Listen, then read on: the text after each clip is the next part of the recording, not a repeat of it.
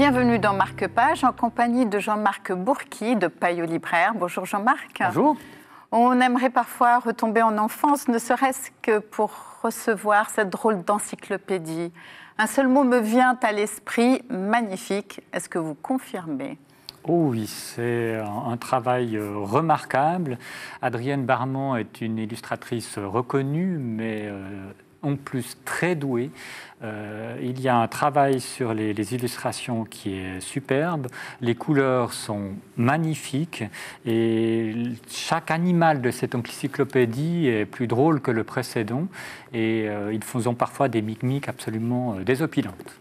Donc c'est drôle d'encyclopédie parce que le traitement euh, de ces animaux est pris d'une manière humoristique. Eh bien, disons qu'elle a, elle a pris quelques libertés avec le classement dans cette euh, encyclopédie. On retrouve des, un classement par couleur, euh, jaune citron, rose bonbon, rouge tomate, ou alors les rayés, les tachetés.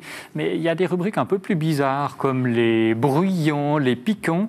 ou alors, moi j'aime bien celle des casaniers. Voilà. Alors moi j'ai beaucoup aimé celle des rapides, tellement rapides que les les animaux ne sont plus sur la page. Ah ça c'est magnifique. Et elle est graphiste, je crois. Elle est jeune, elle est graphiste, elle habite à Genève. Voilà, oui, c'est une illustratrice euh, suisse. Et euh, je crois que tous les enfants euh, rêvent de recevoir cette encyclopédie. Ils aiment ces dessins particuliers, cet humour décalé.